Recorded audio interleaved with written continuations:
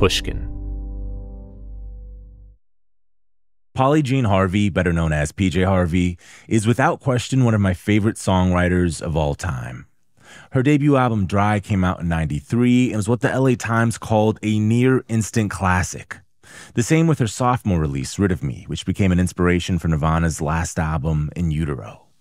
Ten albums later, and Polly continues to be not only a remarkable songwriter on her new album, I Inside the Old Year Dying, but maybe more impressively, continues to find new musical territory and new voices to write from, keeping her songs and artistry as interesting as they were when she first put out music over 30 years ago.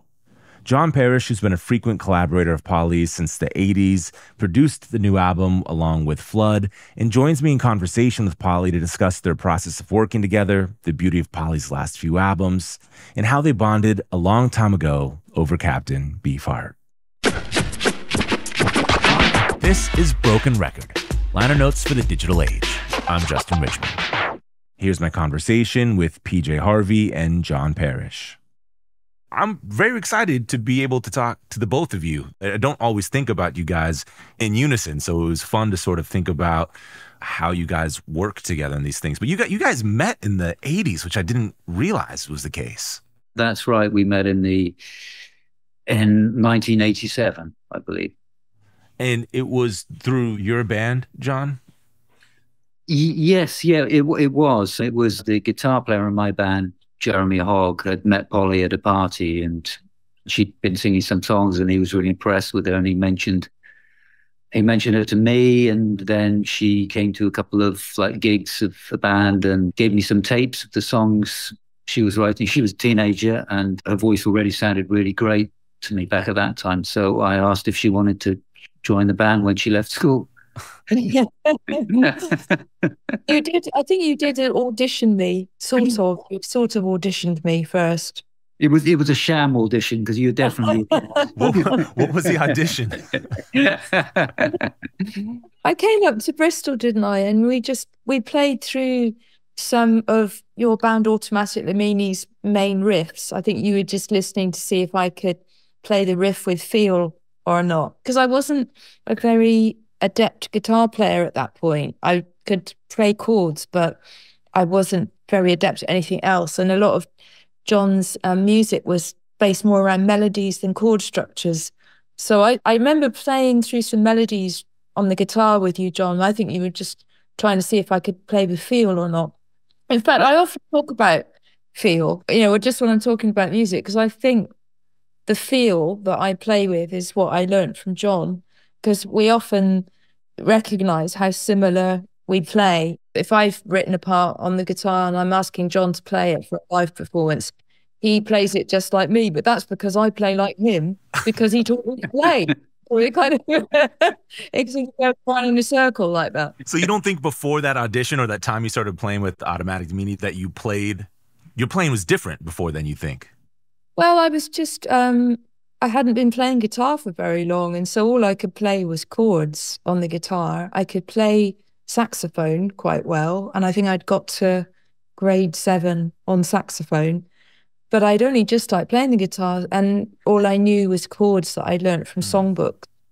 And I didn't really pick out melodies. But then when I met John, I started learning about finger picking melodies. And then I'd practice with records at home a lot of those were things that John had introduced me to, like Captain Beefheart, things like that. Damn! Wow you were put wait you captain beefheart's a lot to ask of like a 16 17 18 year old like, i'm still trying to crack. Like i got safe as milk. I, I can get safe as milk. And then it goes beyond that i'm still breaks my brain. Uh, yeah I, I, had had high expectations which which she which she she always met so it was, it was not a problem. So that must have been the kind of stuff john that you were really your kind of like go-to I, I, guess Captain Beefheart stuff has been for years and years. You know, I think he is obviously a, an absolute one-off in what he's done, and it's very difficult to get tired of listening to him because you're always finding something new. You know, I've been yeah. listening to those records for 40 years, and there's still I'll still think, oh, I suddenly see how that works because yeah. a lot of it to me was just like a, a, a weird puzzle. That was how I got interested in the first place because I didn't understand it. You know, I thought I understood music And when I first heard Captain Beefheart, uh, I thought, I don't know what's going on here. I can't figure out who's doing what, what, why they're doing it. Nothing made sense. But I was, I was kind of interested enough to keep listening because I realized it had a physical effect on me and it had a physical effect on other people that were listening to it as well. So it wasn't just that it was like bizarre. It was that it was that you didn't understand it, but it, you you could feel it still. I, I, I felt that there was something there. It was like hearing a foreign language and you not not knowing what's going on, and then you listen to it enough times, and gradually, like there's some words you think, oh, I know what that word is, and and then Yeah. before you know, you you can put a couple of sentences together, and, and it was really like that. I gradually got to understand it in, in a way just by listening to it, and there are still things. That, that I'm discovering now, so I, absolutely st- still a go-to for me for sure. That's great. So before Trout Mask rep- replica Polly, like what was before that awakening? what was what would have been the, the things that you were really loving to listen to at that time? Oh, I remember loving the Pogues at that time and the little band that I had, which was only a three tiny three piece band. It was me on an acoustic guitar, a girl on a flute and a penny whistle, a friend of mine called Catherine, and this guy called Gus on the bass. And we used to do a lot of folk covers. I think when John came to see me, that's what I was doing in the local pub. But so I loved things like the Pogues because I could hear that it was folk music, which I loved, but it also had rebellion and spirit and punk. And then I fell in love with the Pixies as mm. well, and, and they were a huge influence on me. I think John, you, I think you introduced me to Nick Cave in the Bad Seeds because I remember you playing Cabin Fever. You know what you were just describing about Trout Mask Replica. I remember listening to that, going, I, I don't know what this is, and it made me feel seasick. I just didn't know what I was listening to.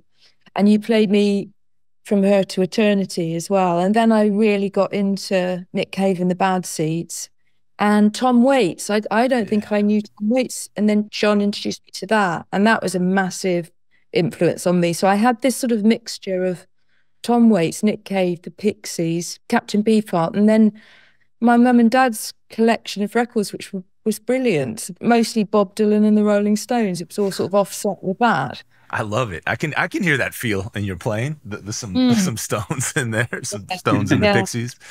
You mentioned your sax playing.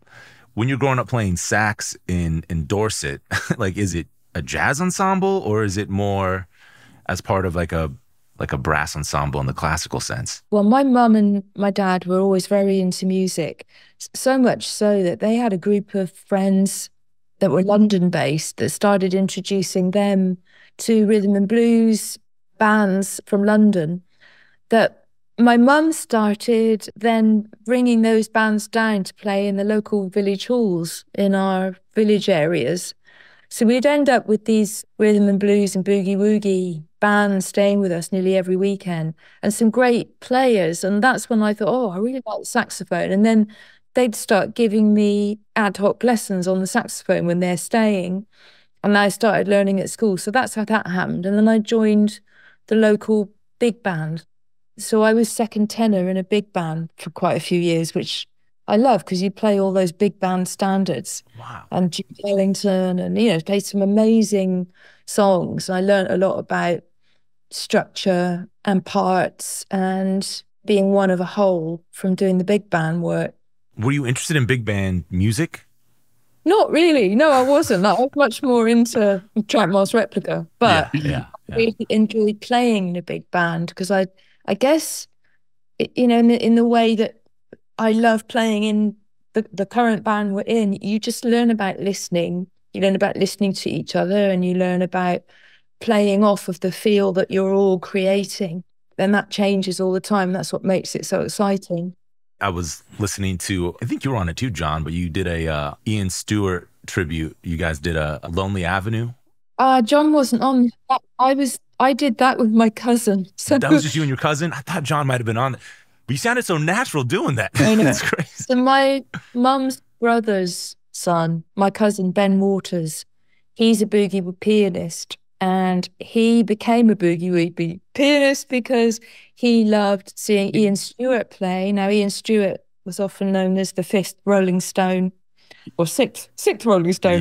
Yeah. Um, and well, he was always, he was always in the background. I, I mean, rumor has it that he wasn't in the Stones because he didn't look right. Right. But he was always with the Stones, and he ended up being their road manager, and he played on stage with them a lot. As you'll often see him in the background. Now he was um, a great friend of mum and dad's. He influenced my cousin to want to play boogie woogie piano. So now my cousin Ben Waters is a professional boogie woogie pianist, and he put together this tribute to Ian Stewart, and that's how that happened. So was Ian Stewart around then? Like, was he one of the yeah, people so, you remember? Yeah, you know, I said my mum and dad had a group of friends from London. Oh, it's all. I'll try and keep it simple, but so down here in Dorset, where we live, it's a very, very beautiful part of the countryside with rolling hills and an incredible coastline that's now become like a World Heritage Site. It's called the Jurassic Coast. Wow. So people from London would just come here every weekend. One of them had a flat in this little cove, and all of the people from London would come here just because it was so beautiful to escape London. And mum and dad, who lived down here already, met those people. One of those people that used to come down every weekend was Ian Stewart he was the one that introduced mum and dad to all of these bands from London that ended up coming down to play. And one of those bands was Ian's band, which was called Rocket 88. Right, right. Which would I guess would have been based on that um Ike Turner yes. song from way back when. Growing when you would see him, did you know he was part of the Rolling Stones? And maybe I yeah, think probably the founder yeah. of the Stones too. Yeah, yeah, we did. Um, me and my brother, and because Charlie Watts came down and Charlie played in Rocket 88, you see. So Charlie Charlie ended up coming and staying in our house. And I remember my brother and I following him around because we knew that he was famous. So we just followed him around the house the entire time. followed him in the garden, followed him everywhere. Did you ever talk to him after following him? Um, uh, I think maybe a little bit. We were a bit shy because we were quite young then. Um, yeah that is a crazy experience. I love Charlie Watts. I was trying to figure out, I feel like the last decade or so has been a really fruitful, I seem to have read that it was a little difficult maybe, but a really fruitful run of records from like Let England Shake to I Inside, The Old Year of Dying. I mean, just the three records that have come out in that time have just been really moving and interesting. But I was thinking about your guys' earliest work compared to this. And I mean, how does your guys' creative relationship work this well over time? I mean, it's just insane that you guys are sort of still seemingly, to the listener's point of view, like in lockstep creatively. Yeah, I, I mean, I think that that's quite rare to be a good creative relationship for that many years. I think we're both really appreciative of that.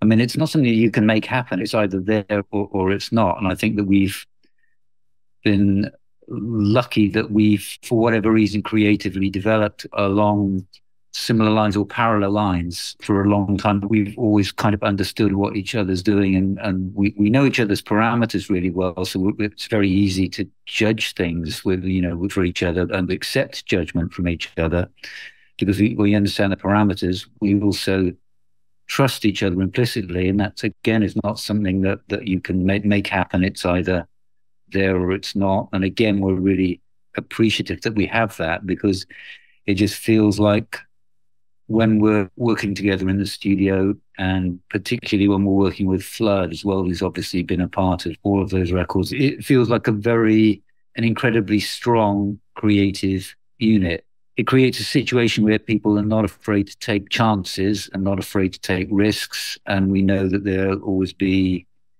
somebody there to either support it or to say, actually, that's not working, but maybe it's a route to something else. And nobody's afraid. You know, we, are not worried about sort of trying something and it not working, and then somebody thinking, "Oh, then then they're not really very good." You know, we, we know that we, we we have great respect for each other and terrific trust, and that's been absolutely foundational to the work, I think. Yeah, I mean, I completely agree with John. I think it's having that level of trust because we've known each other for a long time and we've been through a lot together, myself, John, and Flood. And so then you, you can just be so open. You can be so risk taking and come up with crazy ideas and we'll have a go at them anyway. And then a lot of them fall down and they're rubbish and we just laugh about it. Because the other thing is, we do laugh a lot. We have a similar sense of humor. So we spend a lot of time laughing. And that really helps. And, and we don't have egos in the sense of needing to hold on to some precious idea. We just let it go and we'll try something else. So it makes for a really wonderful, inspirational collaboration. You're just constantly firing ideas off each other. After this break, we'll be back with more of my conversation with John Parish and the one and only PJ Harvey. We're back with more from John Parish and PJ Harvey. Speaking of like being open to ideas, the demos to Let England Shake were really fascinating. There's a lot of you singing, not even singing, but you writing songs over samples of things. Yeah. Which is a really wild idea. I've never heard demos that yeah. sound that way. How did you start demoing songs that way for that record? Yeah, that was the first time I'd done that. It was uh, going back to feel. It was some pieces of music I loved the feel of, but also the words were absolutely right for the words and the lyrics I was creating. So I only used loops of things that resonated with the subject matter of the song.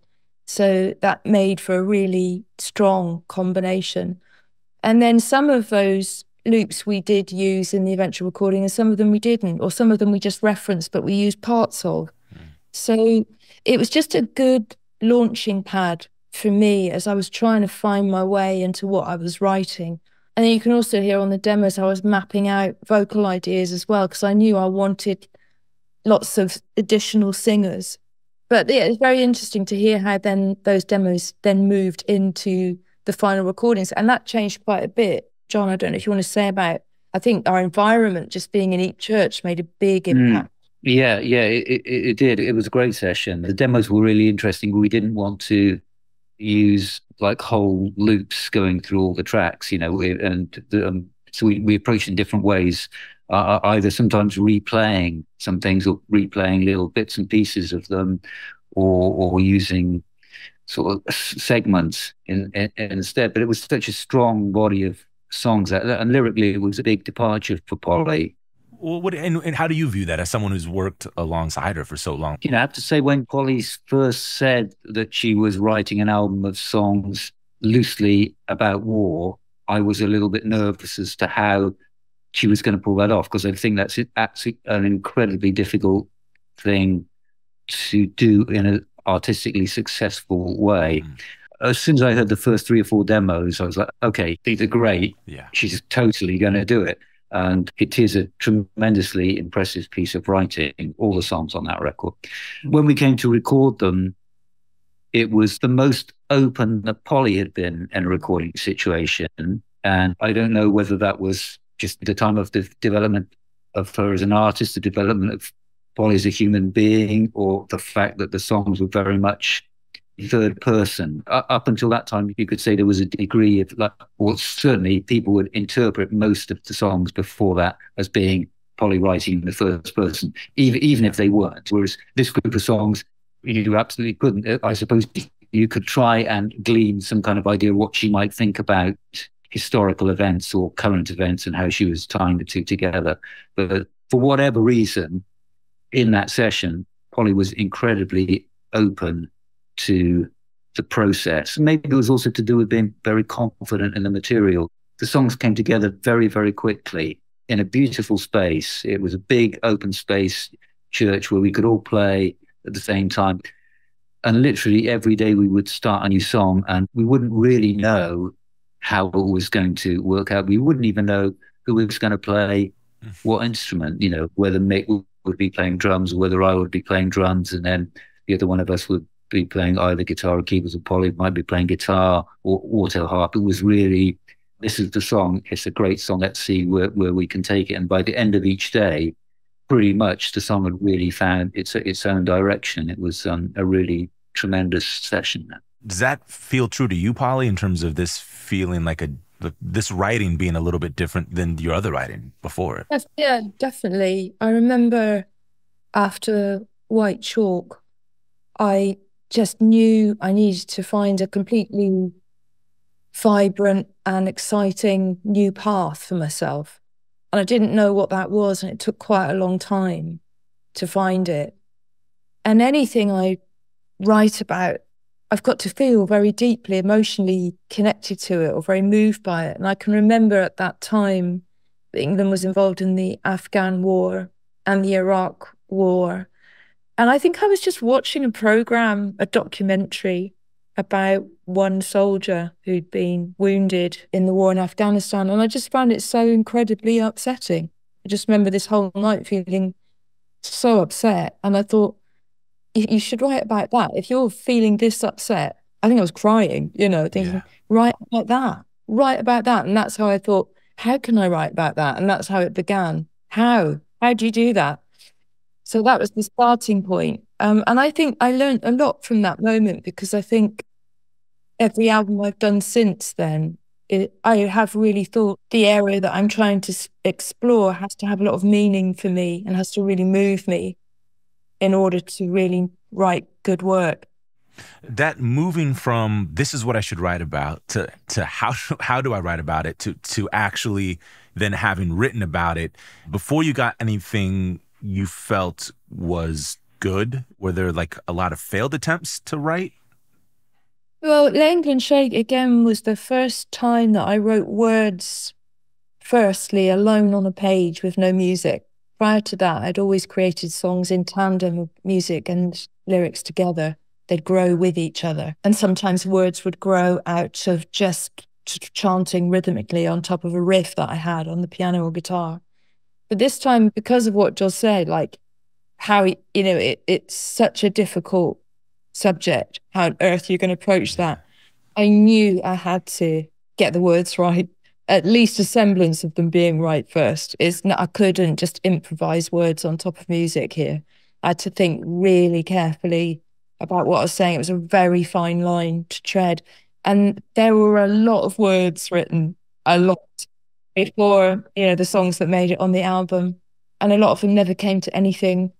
And that's the other thing. That was the first time I started moving into poetry and I started taking poetry lessons that I wouldn't call mm. Let England is not poetry, they're songs. But it was when my interest in wanting to learn the craft of poetry began because as a starting point, I went and read all the First World War poets and I could see this magical craft that they had. And I wanted to learn how do you do that? So that was the first time I really thought, oh, okay, I want to go into this. And then I moved into it deeper with Hope Six and then with I Inside the Old Year. Were you reading a lot of World War One histories as well? Yes, yes. And contemporary war at the time, like Afghan, Iraqi war. Yeah. And before this documentary, there was no interest in war, no personal oh, interest yes. in war. No, no, no, always. No, I'd always been, um, you know, very engaged with what was happening in the world, very upset by current conflicts, always fascinated too by the history of Afghanistan. And, and I always felt drawn to that. And Britain's involvement in both in world wars. So, no, I was very interested. I just never occurred to me that I could possibly write about it. Got it. Just didn't get qualified, you know, but you have to, I think there's a way in that you don't have to be qualified, but you can still walk the right line of speaking in a very naive way. I mean, I often think of William Blake's Songs of Innocence and Experience because that tiny little book is basically how to live, you know. Yeah. But it's written like children's nursery rhymes. Uh, so I think you can write in a really naive way, but still say an awful lot. Yeah, absolutely. Even just, you know, it's funny the the sample on the demo of Let England Shake Istanbul, not Constantinople, which was like a kind of a goof of a song in a way. But even that song is kind of saying a lot in its weird way, you know, like these histories of countries conquering one another and name changes and what's in a name and what they mean. It's, I don't know, that's interesting. Yeah, and that's what I love doing, playing off what the original loop was doing and then laying my words on top of it, sometimes joining in with those words, sometimes not. And I think it also added a certain level of humor where you, it's not too self important. It's got a lightness to it, which in having that lightness, it actually makes it heavier. It makes it mean more and affect more. Tell me about the, you guys recorded in a church in, in Dorset. Was that the first time you guys had recorded there? How'd you guys settle on that place as a makeshift studio? I, I think it was Polly did, didn't want to record in a studio, in a traditional studio setting. And I, I guess it made sense to her because it was close to where she was living at the time. And it, it was kind of that simple in a way, like looking for a space that was close to where Polly lived. Yeah. This was available. I think we had some concerns as to how it would be acoustically, but you know, was we moved a studio setup in there, and, uh, it, it, it sounded great.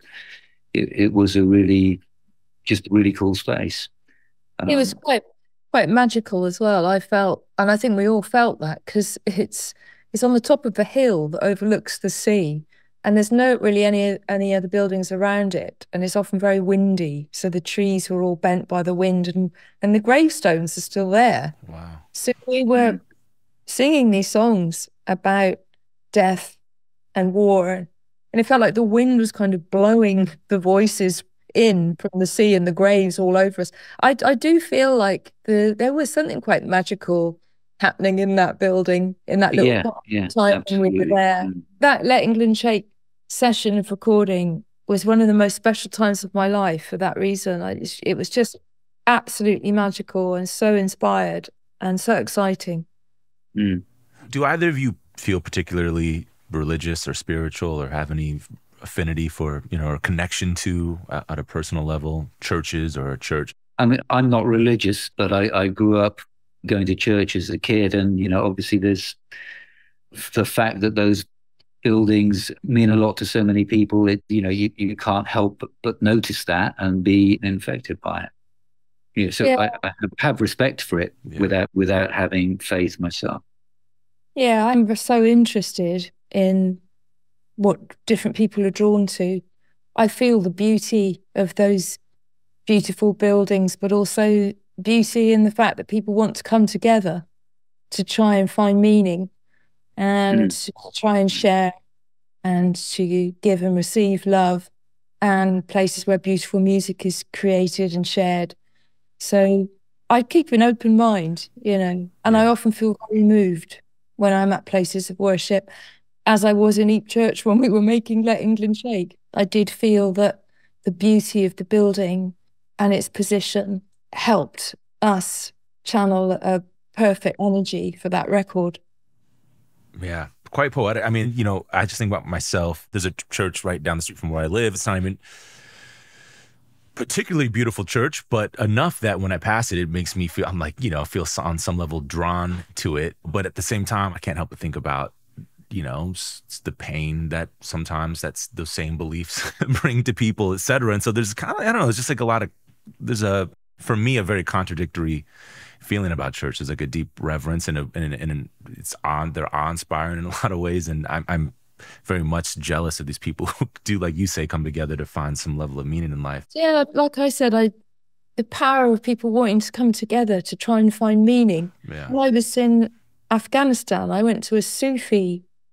It wasn't even a church; it was just a room, but it was their Sufi Sunday morning practice together, where they'd sit for four hours chanting together, kneeling down and chanting till they were rocking backwards and forwards. It was incredibly moving in a different way. But again, it's just the power of people coming together, I yeah. think, to, to look for something, to share something, to find a power together. After this last break, we'll be back with more from John Parish and PJ Harvey. We're back with the rest of my conversation with John Parish and PJ Harvey.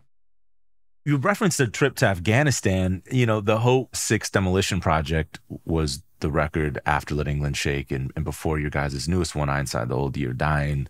You traveled around with Seamus Murphy, a great photographer, went to Afghanistan, Kosovo, DC. Were you intending to make a record based on those travels, or was the travel something completely separate? I, I didn't know what it would become. I started working with Seamus on Let England Shake. He made the beautiful films that accompanied each song and he took photographs. And I grew a friendship with Seamus. And, you know, Seamus has spent his whole life as a photojournalist, traveling all over the world and sometimes into very dangerous, war torn areas. And from the interest I'd gathered from writing Let England Shake, I still didn't feel close enough. And I thought, gosh, what if I could actually, you know, instead of garnering information secondhand or from other people's writings, what if I could actually go somewhere myself? And Seamus and I talked about that. And he did say, well, look, why don't, as a start, why don't you just come with me to Afghanistan, where he goes a lot? And of course, I was very nervous, but I thought, well, yeah, I feel, I feel like I really want to. And I so I had no expectation. I just went with a notepad, and I thought, well, all I'm going to do is just record what I see. That's all I'm going to do. And then it grew into going to Kosovo together, going to Washington, DC together. And I just carried on doing that same thing. I'm just going to write down what I see. That's all. I didn't know what it would become, but at the same time, like I said, I was growing an interest in poetry. So I ended up with having an enormous amount of words to play with. Then thought, okay, can I try and craft some poems out of this? And a poetry book came out of it, and then an album came out of it. And then I sort of organically fell into this new way of sort of writing poems and writing songs, which sits with me very well at the moment and might not in 10 years time but right now it does and i think that's what happens as an artist you you you find different modes of working work well for you at that time in your life and you adopt them and then later on down the line they don't and you do something else. And right now that's become quite a satisfying way for me of finding my way through words and music. It's really it's as a listener i mean i really have enjoyed these last few projects. I didn't 100% know that you were in a different mode of working, but the resulting work is just so fa- is interesting. You know, the feel of these records are, and I don't know if the that comes from the writing necessarily. It could just be from, you know, the the groups of people you guys are playing with and the way you're recording them. But it's just I really, really, really love these projects. They feel special in a in an interesting way. I think it comes about because of all the ingredients. You know, it's because of the way they're written, but it's it's also a huge part of it is, is coming together with John and Flood. And I share with John and Flood all of my workings, all of my writings, all of the words, the demos. So they're, they're a big part of the growing of the whole project right from its very beginning. And I imagine, John, you knew about her trip to Afghan. I mean, that were you worried about that trip? That would have been. Yeah, yes, I was. I was worried. Um, I think it was incredibly brave of her, of her to, to do it. It was obviously it was very incredibly valuable to the to the writing process, but but it's not something that I personally would have risked. I think it was the risk, and I, she was very brave to do it. And yes, I was worried. Were you much of a traveler before, Polly? Uh no, but I always wanted to be, and I, you know, I had a huge interest in, yeah, just in wanting to see things firsthand. And I thought there's only one way to do that. You just got to go there. And I think that desire overrode any fear because the desire to actually be there and see it was greater than the fears that I had. Mm. I mean, I imagine that you probably didn't even do much travel aside, I mean, outside of touring, right? No, not really. No. I mean, a lot of people end up kind of getting hooked to traveling. Do you did it did it change you in that sense? Do you feel like you want to go more places now, or, do you, was that was you? Are you content having just gone on that trip? You know, I'm a I'm a maker, and the thing that I'm drawn towards making, I will serve in any way I have to, and so the next thing that I would do will probably be to do with the project that I'm serving at the time that's my drive, if that makes sense. Yeah. So I don't know, you know, if the next project's going to mean I need to travel to source the material better, than I will. Or if I need to stay in one place, then I'll stay there. Yeah. It, it really comes down to that. That is kind of what I do, and that is my driving force. You had mentioned before that, like, that was a very difficult record to write. In hindsight, does that still feel true? Yeah, it, it, it, did feel difficult to write musically more than lyrically. The poems and the words that I gathered came together quite easily, but yeah, I found it difficult to create the music I wanted to hear. And it took me quite a while to get enough material together. I think I had to write quite a lot of things to really get to some good things. Uh, did you hear that from the demos, John? Yes. There were definitely a lot more songs that we had to go through before we found a collection that we felt was a really strong body of work. So there was a, you know, I don't remember there being very many demos from the Let England Shake sessions that didn't make it either onto the album or, or onto a B side, whereas there were a lot.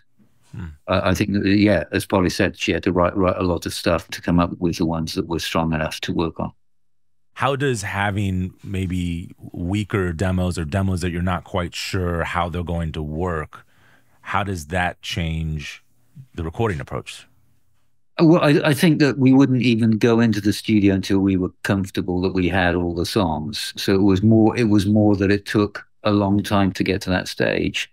But polly's always you know the the for me the absolute strongest thing about Polly's work is that it's it every record has been different, and uh, and obviously the more records you make, the harder and harder that becomes, of, of course.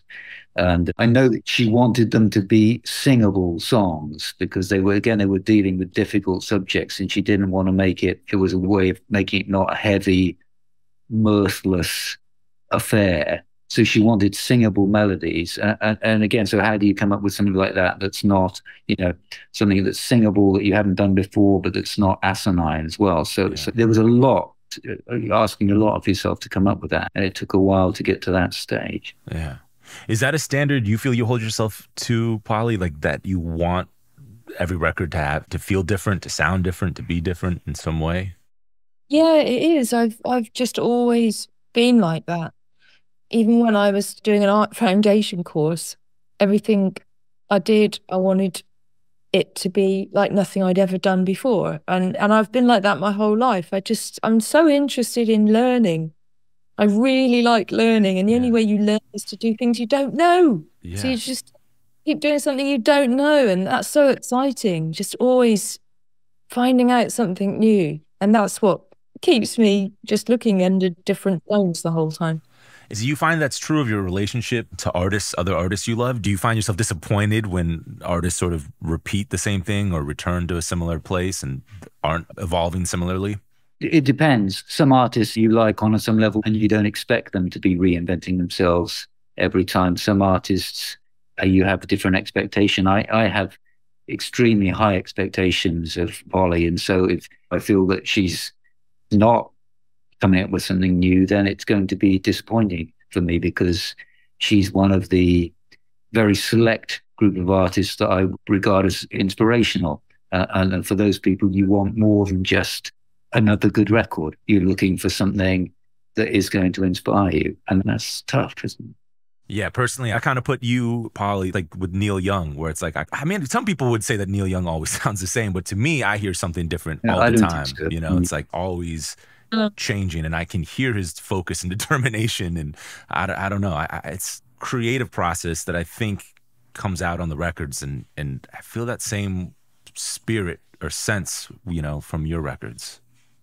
I have great admiration for Neil Young for, for the reason you're saying that he's always trying different things, radically different things. And that's so exciting. I'd much rather hear an artist doing that and not always hitting the mark, you know. But yeah. even yeah, if, absolutely. If you fall down, the fact that you've tried something radically different is is a success in itself. Yeah. I think, in my book, anyway. That that's why I'm all. I've, I'm you know, uh, you you put out those four track demos early.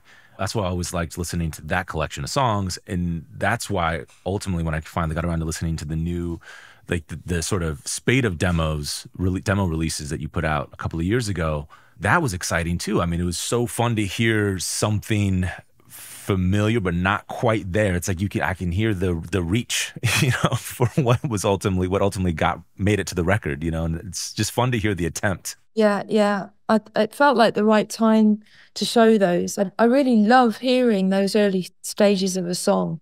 You can hear it, like you said, you can hear where it's trying to go, yeah. but hasn't quite got there yet. You can hear the idea of it, but the idea is not fully formed yet. And sometimes it's better.